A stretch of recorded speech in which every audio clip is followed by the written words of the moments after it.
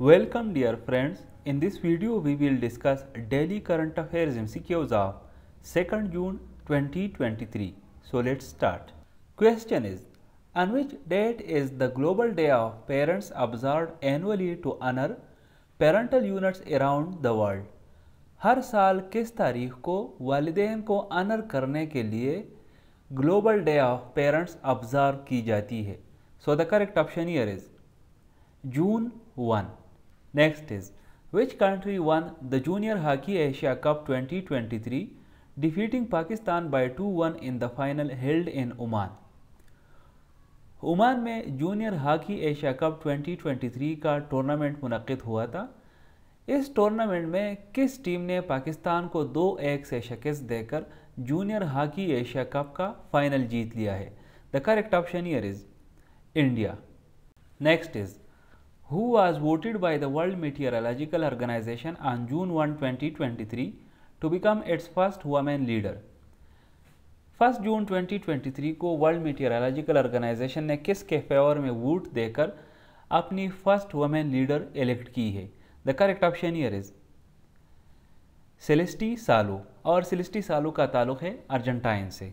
Next is which nationality did the second batch of 200 fisherman belong to who were released from the Malir district jail after mistakenly crossing over to the other side अगर आपको याद हो तो कुछ दिन पहले पाकिस्तान ने India के एक अठानवे माहीगीर, जो कि पाकिस्तान के मलिर डिस्ट्रिक्ट जेल में कैदी थे, वहाँ से रिहा करके इनको इंडिया वापस भेजा था।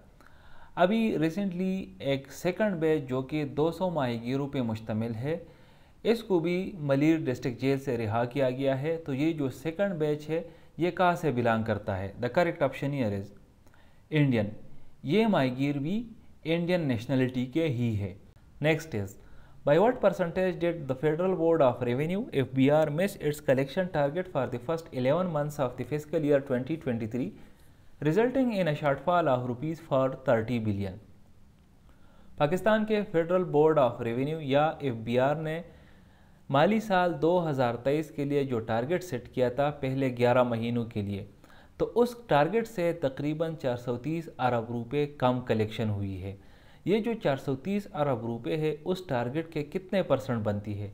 The correct option here is 6.47 percent F ने टारगेट सेट किया था कि माली साल 2023 के पहले 11 महीनों में ये कलेक्ट करेंगे 6.64 ट्रिलियन रुपीज़ लेकिन बजाय इसके कि ये 6.64 ट्रिलियन रुपीज़ कलेक्ट करते, अभी तक 11 महीनों में कलेक्शन हुई है 6.21 trillion rupees next is who became the latest PTI leader to quit politics on June two 2023 आपको पता होगा कि पीटीआई की लीडरशिप इस वक्त पीटीआई को बतदरीज छोड़ के जा रही है।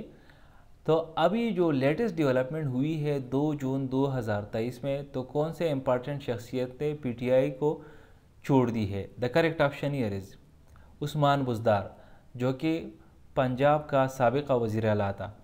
Here it is the end of this video I will see you in the next video till that time stay